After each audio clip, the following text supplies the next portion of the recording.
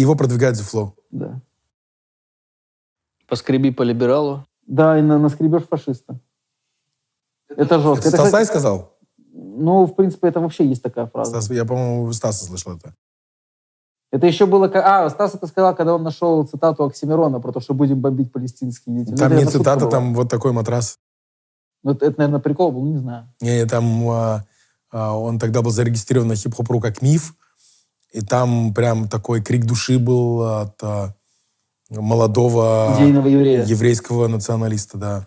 Прикольно. Про убивать и палестинских детей и так далее.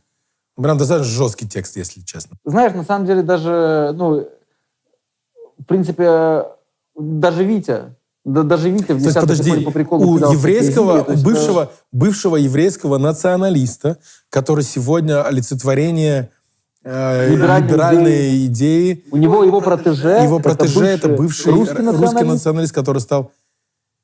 Да. Кринжа. Знаешь, знаешь, что, знаешь, что самое Зиги смешное? кидали в этом году вообще все. Знаешь, что самое смешное? Ну, вот в тринадцатом каком-то там. Он стал бы Ну, на звездой, форуме. по сути. Его могли бы сделать, его могли бы распиарить. Действительно, потому что там прям полноценная поддержка The Flow, там фит с Мироном, по-моему, с, непонятно почему, с Хаски, по-моему, тоже, да, что-то есть там? Не знаю. Не знаю. То есть, на- на- насколько я, ну, насколько я наблюдаю, его пы- прям пытаются массивно протолкнуть, но вот как раз э, вот сейчас именно... СВО ему все поломало. Да, всё по- И поэтому тебя, придурка, дисит Даня Хаски на 13 тысяч просмотров в розовой шубе. В прекрасной розовой шубе. И обсуждает э, твой бывший кумир, вот, и просто пытался понять, что ты за странный пассажир. Знаешь, я ему звоню, говорю, запиши мне skit в diss. Он говорит, что? Что ты мне звонишь? этой Просто когда он мне звонил, я не знал, кто это. Я, я- ну, единственное, с чего я посмеялся, почему я вообще решил обратить на него внимание, это когда мне скинули его сначала, типа, гадости в мою сторону, я проигнорил, говорю, мне неинтересно. Он говорит, ну, у него там фит с Мироном, я говорю, мне похуй. И потом мне скидывают, типа, а, он отвечает на вопрос про тур, он говорит, блядь, все бы отдал за тур. Душу бы продал. Душу бы продал за тур. А я как раз в это время вот в поезде сижу еду в тур. Типа выставляю там две фотки, я еду в тур, типа список городов, и он пишет, типа, ну, что ты на меня гавкаешь, вот, насколько мы с тобой на разных уровнях. Ну, это вот тот случай, когда человеку а, промыли мозги. Вот, это случай с Фейсом. Фейсу промыл мозги его брат Богдан, близкий друг Пети Верзилова. Вот, и Фейс это сегодня сам осознает. Страшно. А игла, я в его либеральную позицию не верю. Мне кажется, когда у того появилась возможность а, Фитонуть с Оксимироном. и что-то из этого получить, когда ему показалось, что он а, сквозь это может стрельнуть, там, стать кем-то, а, он для себя принял выбор именно из меркантильных там каких-то целей. Знаешь, как история с а, Убиваном, когда он приехал и стал рассказывать, бля, Оксимирон крутой, нас всех обнюхал. Там а, даже типа, там шел какой-то тип, плакаты развешивал. Он даже его взял с собой в отель и всех нас обнюхал. Он крутой, мы все там Он уличный. уличные, знаешь, типа, как Оксимирон завоевал а, уважение Оби-Ван Каноби. Он его обнюхал, и типа, который там у отеля расклеивал какие-то плакаты, Оксимирон его тоже щедро обнюхал. В смысле, это так... класс. Давай, давай, давай соединим вот это вот все. Типа, с одной стороны, у нас есть еврейский националист, который сегодня, а, типа, Обнюхал ультралиберал, ультралиберал, у которого протеже, а, протеже а, русский националист, который сегодня ультралиберал, а, у которого а, Оби-Ван Каноби, сын а, навальниста, а, который получал дубинкой от ментов российских. И вместе они обнюхались. И вот это Либеральной всё. пропаганды. Это- это, понимаешь?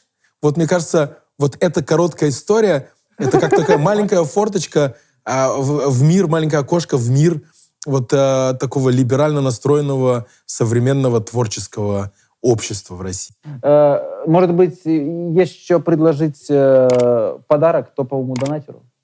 Да, топовому донатеру я готов подарить вот эту крышку, вот эту крышку от а, бутылки минеральной воды, которую я выпил до этого выпуска. Потому что вода... вода — это самое главное. Понимаете? Ты Я, правильно понимаю? месяц не есть Ты не хочешь, выжить. чтобы ребята зарабатывали? Может, ты можешь... Подождите, подождите, я серьезно, это серьезно говорю. Ты можешь месяц не есть и выжить, а без воды ты не проживешь и неделю. Понимаешь, вода — это очень важно, поэтому недооценивайте эту крышку. Она из бутылки минеральной воды, которая сегодня дала мне жизни на минимум неделю. Представляете? Вообще, на самом деле, кстати, поговорим просто. Э, топовый донатер по-настоящему, он, конечно, получит не только крышку, но и в следующем выпуске мы обязательно позвоним ему, чтобы обсудить новость какую-нибудь. Я могу, Пообщаемся. я могу поправить. А как только а, будут столько донатить, что я могу а, не только за свои деньги ходить в азбуку вкуса, естественно, и подарки изменятся. Потерять-то нельзя, надо будет отдать. И он там, они там снимают, как бы. Точно, слушай, он там сидит еще по- ну, на возвышении. Ну, радует, потому что м, кадрами. Джина рэп хороший делал. Да, да, он охуенный. 14 год был. И мы, я помню, как мы с Витьком смотрели и такие смеялись, как бы, вот, ну, как бы, что у него там, как бы, с головой произошло. Вот, и, ну, я сейчас смотрю и думаю, нихуя себе, насколько, как бы, ну, человек был в теме, так скажем. У меня есть такая история личная, за которую мне дико стыдно. Я вот недавно а, думал о ней и э, пытался позвонить отцу. А у меня отец такой, он а, в свободное время спит. Он любит спать. Вот как не позвоню отцу, мам, что, батя, говорит, спать лег. Может, у него У нас вся низкий- семья с этого смеется. Отец, отец кайфует. Вот для него, для него поел, посмотрел какую-нибудь свою там э, любимую передачу, пошел, поспал. Внуки приехали с внуками, внуками погулял, пошел, поспал. Вот я несколько раз звонил отцу для того, чтобы извиниться перед ним. Это было в пандемию. А, я, мой брат и отец, мы откуда-то приехали. То ли мы в магаз ездили вместе. Мы жили у брата в деревне во время пандемии. Вот, и отец нас иногда забирал. У нас у него большая тачка, мы ездили все закупаться для всей семьи, короче, в ну, супермаркеты. И мы... Что-то какой-то был разговор про Путина, конкретно про Путина. И мы строили... Это был прям спор. И я орал на отца и орал на брата. Типа, да вы здесь живете уже там свои 20 с лишним лет в Германии. Ты в России хоть жил, ты вообще знаешь, что там происходит. Типа, смотришь только, ты, ты, ты Россию видишь только через экран своего телевизора.